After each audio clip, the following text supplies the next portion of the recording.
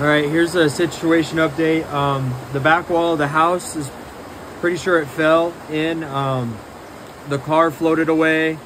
Uh, the inside of the house is a river. Um, we're trapped on the uh, front porch and we have all the animals with us.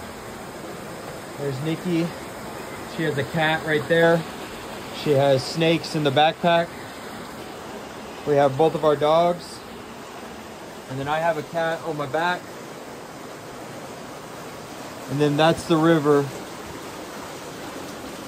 This is the front porch. And that's where we're at.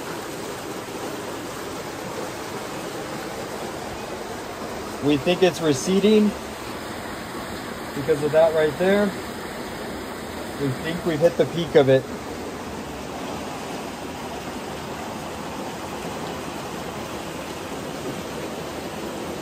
Everything we own is gone.